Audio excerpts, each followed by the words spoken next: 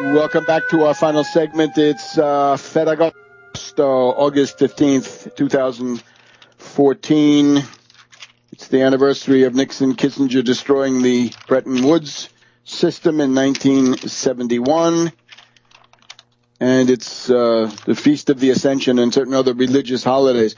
Uh, we would like to add our voice to the appeal coming from uh, the Russian uh, media Save our guys, hashtag save our guys, and hashtag free Andrew. This is Andrei Stenin, Russian photographer held prisoner by the, uh, the Kiev fascist clique.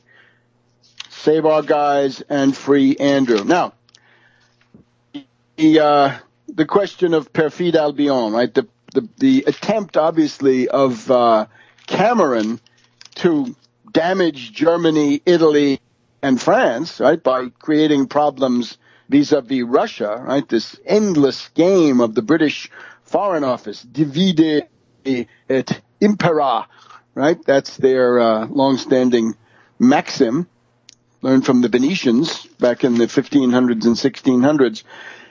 The um, question then points us back towards uh, World War One, right? And the the monstrous perfidy displayed by Sir Edward Grey. George V ordered him, find a pretext for war, Grey, and did. It was Belgium, and he grabbed it with both hands and his teeth.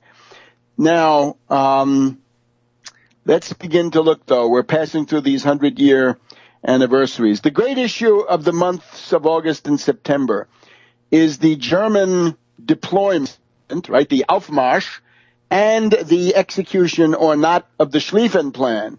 And we don't want to quibble too much about whether it's the Schlieffen Plan word for word or whether it's the modified Schlieffen Plan. Uh, fine. Uh, we'll, we, we won't make too much of a formalistic issue out of that. Above all, we're going to have to look at the competence of Helmuth von Moltke, M-O-L-T-K-E,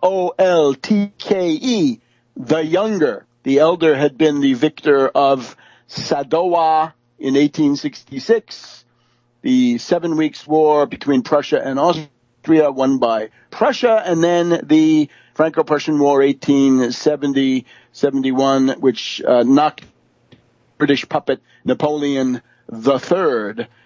Uh, this younger Moltke, however, was much inferior to his illustrious uncle. Um, and therefore, we have to look at was his uh, deployment uh, adequate?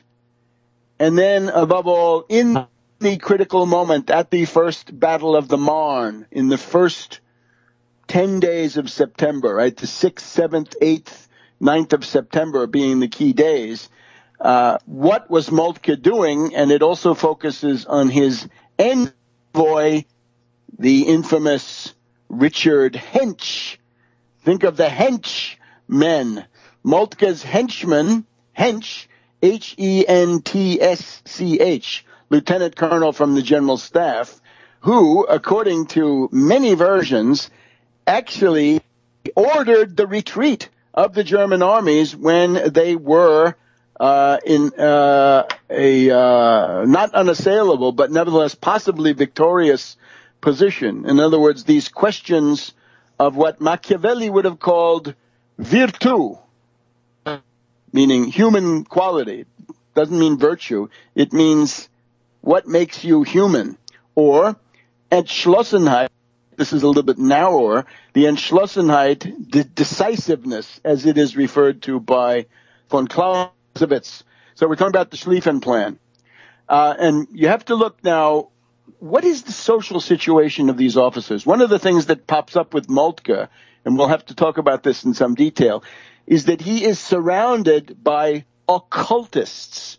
And we've pointed to the fact that the last years of uh, the 19th century and the pre-1914 period is this time of tremendous growth of Freemasonic lodges, occultism, theosophy, Madame Blavatsky, uh, we've got uh, Annie Besant, we've got uh, clairvoyance. We've got mediums. When you said the media today you mean news media. In those days, when you said the media, you're meaning a bunch of people who claim that they can talk to the dead and they can communicate from beyond uh, the grave. Now, remember, this is highly relevant, and we've got to start thinking.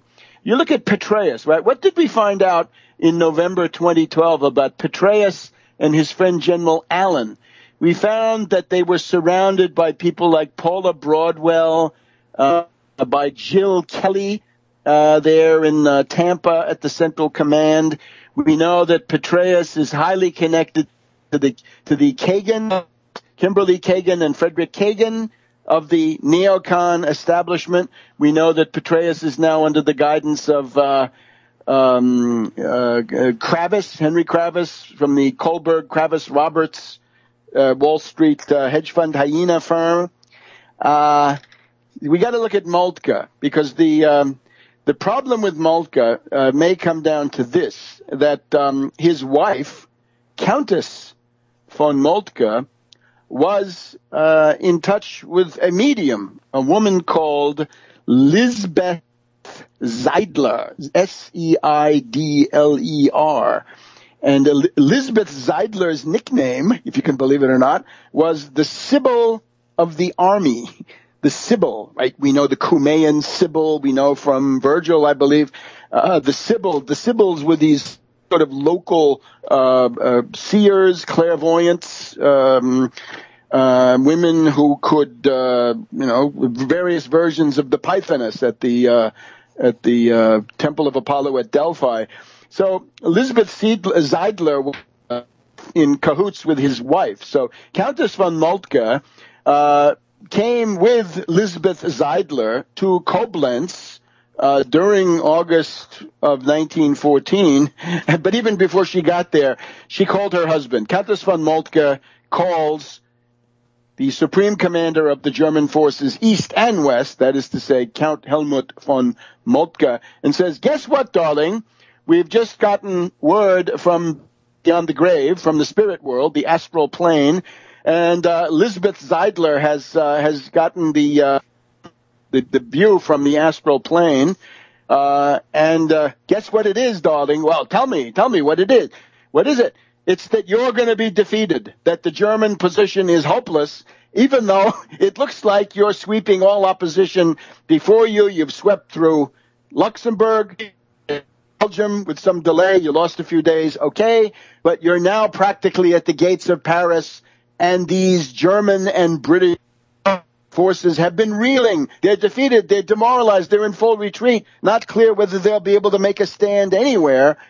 But the word from the astral plane by way of Elizabeth Seidler is, you're defeated. And uh, Moltke, the character of Moltke, well, let's just, uh, I just want to give you a, uh, a kind of a view from a possibly uh, official uh, historian, David Fromkin, right? David Fromkin wrote a Peace to End All Peace. This is now Europe's last summer. Who started the Great War in 1914? Fromkin, of course, a, an academic, but not the worst, but of course Anglophile, right? That it's a German-Austrian uh, conspiracy and the British are blameless. So, here's Fromkin. For nearly a century, debate has raged among participants and then among scholars about the decisive battle with which the Moltke concluded. This was the Battle of the Marne, September 1914.